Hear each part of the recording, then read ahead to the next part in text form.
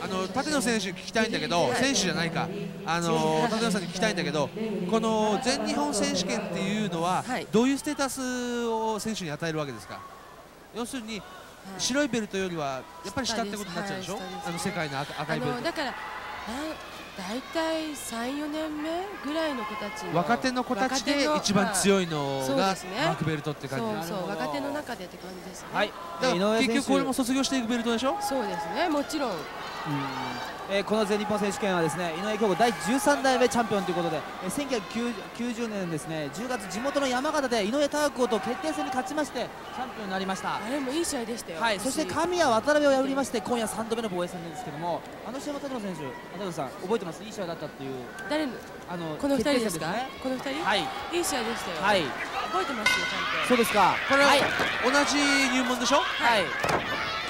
さあゴムなりました。でもやっぱり僕技術そのものではね、はい、井上京子の方が2枚ぐらい上だと思うな。技術ね、うん、なるほどファイティングスピードとか。それは私もそう思いますセンスの差でしょそれは、はい、さあ気の強さで。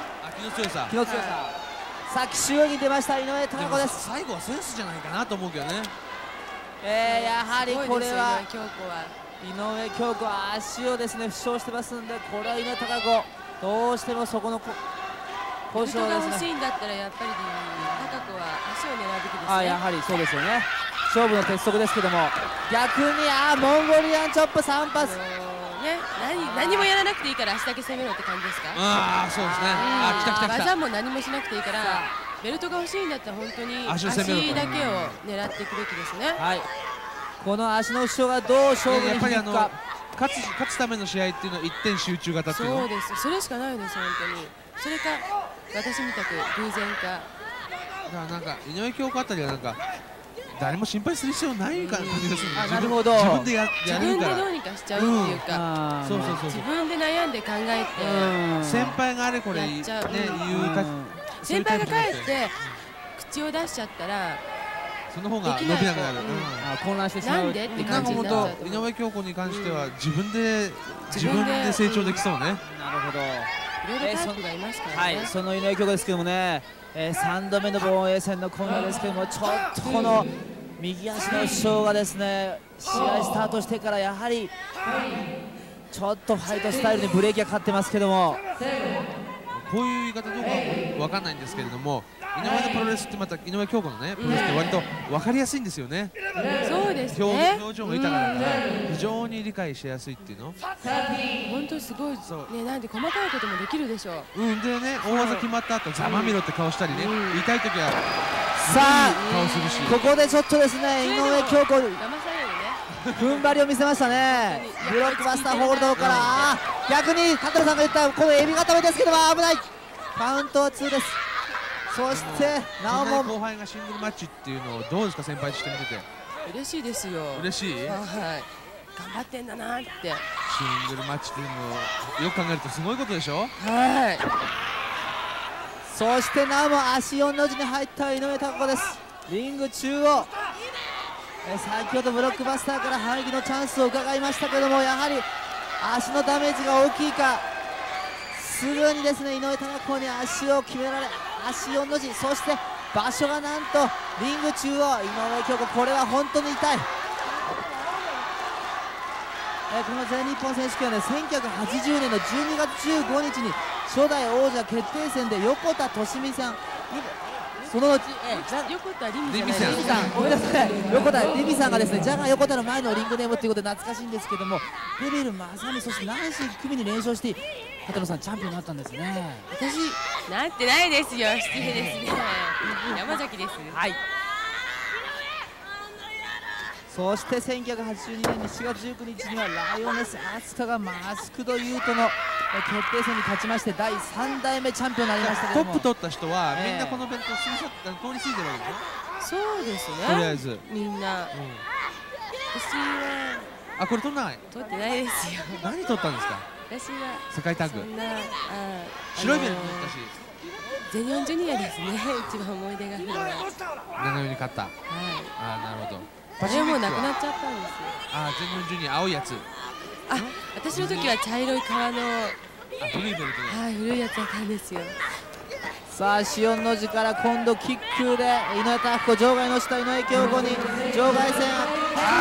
今フェンスです。これも痛い。できれば中でやってもらいたいですね。そうですね、ね、はい。このダメージがそして場外戦へと移りましたけどもあんまり長いとね困るんですけどもでもこれやるつもりだったんでしょう。自分で。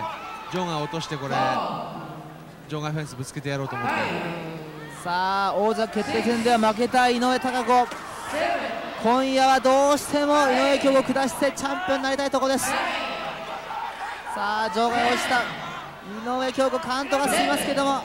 足右足これはもう大ダメージを負ってしまいました。カウントが進む危ない。結構気が強そうな顔してましたね井上京子ね気は強いんですよ本当に。水水を口に含みながらキッという顔したから。足を引きずっている井上京子顔ももう普通に歪んでますけども。気が強いという井上貴子。さあこれこのリング内に戻ってきたところでまた足を攻めてどんな攻撃を出すのか。さあローペフト2段目あトッペア、トッペレベル差ですね。ドニア京子今までなかった技自分で作っちゃうわけでしょ、うん、そして逆にロープ振られたけど2段目。またトッペレベル差。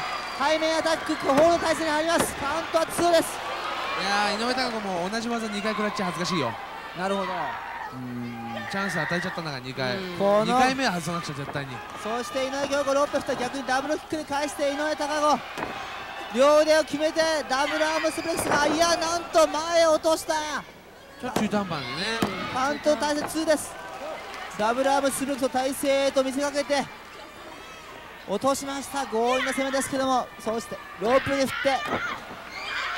馬跳びから井上京子を抱え上げてまたも豪快なこう荒技ですね。今のは失敗じゃないニークラッシャーが、ね、狙って、持ち上げきれなかったんじゃないかな。タイミングが合いませんでしたか？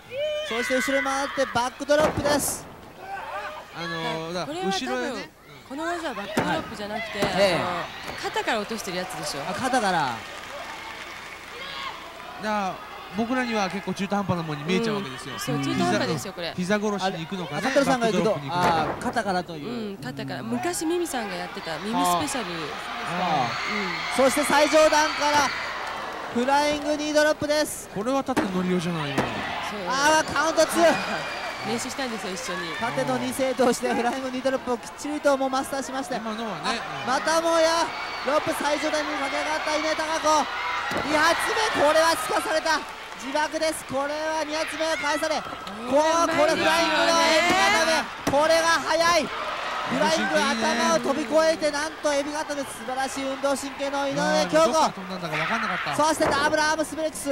掛け声もろとも投げましたさあ気合が入ってきました。ちょっとやり方変えてんね。みんなと。気合入ったねダブルアームスブレックス。こちらにも伝わってきます。この子自然にそうなってるんじゃないですか？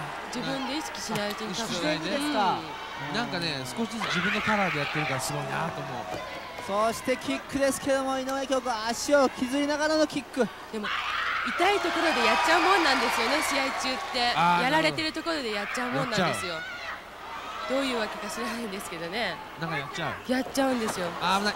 それで痛かったなカナディアンバックブリーカーが崩れてしまいました。相当膝あれなんじゃないですか。膝が痛い今日は来てる、うん。なんか。高野さんやっぱ踏ん張りが効かなくなってきますね。そうですね。膝とかね、はい、膝悪くしたら今度腰まで来ちゃうんですよ。腰まで、はい、膝から腰にこう移ってくるわけですね。全部エルボーかなすごい。ああ最初なんかあのエルボー井上京子立野さんがすごいとコメントしてくれました。あと5センチ内側にずれてほしいそうですか。はい。難しいでしょうなるほど、そして井上京子ああこれはカナディアンバックブリーカー先ほど出しました。足の交渉はどうでしょうか。そしてスピンです。でも回したけども。結構大丈夫じゃないですか回せたから、うん、うん、さあ足を削りながらホールド体勢に入ってカウンター2ロープ。井上たこの足はロープですあの若手の中じゃ特に井上京子って割と自分で試合をするタイプね。せっかちじゃないでしょこれやろうあれやろうって、ね、そうそう。なんか納得しながらやってるって思うの、ほら。さあ井上京子。恐ろしい選手じゃないこれ作れるし自分で。さあ今度逆に井上拓子の足を。テキサスローバーに行くのだろうか。